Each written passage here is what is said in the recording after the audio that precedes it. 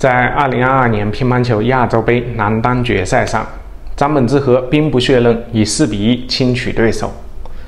第五局比赛，张本智和全面碾压，大比分十一比二击溃了对手。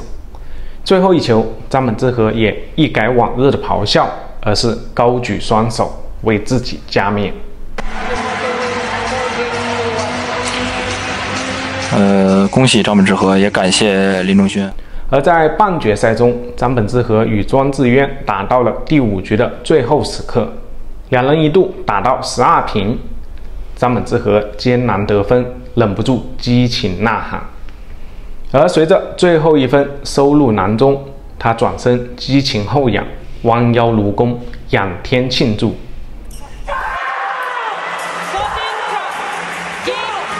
凭借亚洲杯的冠军五百积分，张本智和的世界排名将提升到第二位，仅次于小胖樊振东。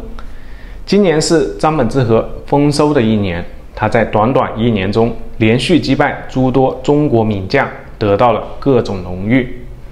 王楚钦、樊振东、林高远，一个又一个中国强敌倒在了他的脚下。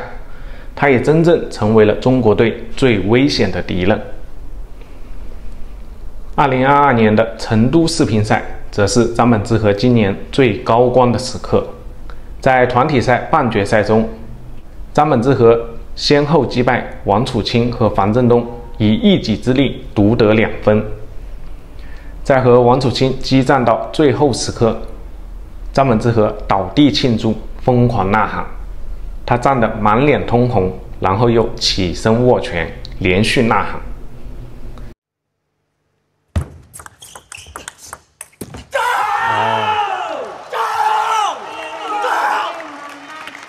但很快，王楚钦准备离场，张本智和突然变脸，一脸平静地走过来和对手握手致意。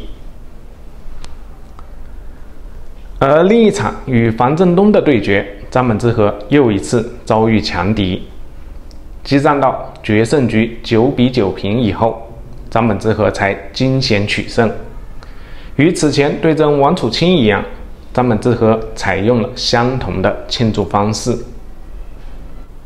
在七月份的 WTT 布达佩斯冠军赛男单决赛中，张本智和与林高远激战四局，最终以四比三惊险取胜。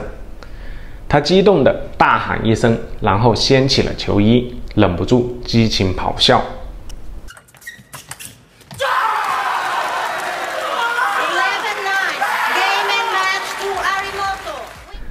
十三岁拿下世青赛最年轻的男单冠军，张本智和横空出世，此后便一发不可收拾。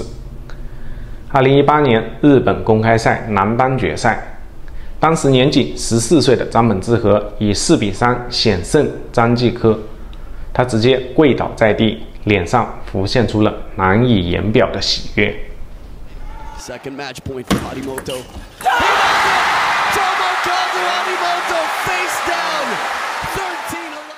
二零一九年保加利亚公开赛，张本智和击败赵子豪，他激动的扭头就跑，与教练拥抱庆祝。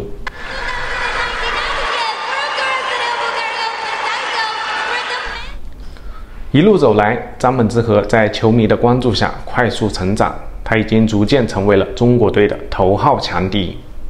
无论中国球迷对他是爱是恨，都很难改变这个事实。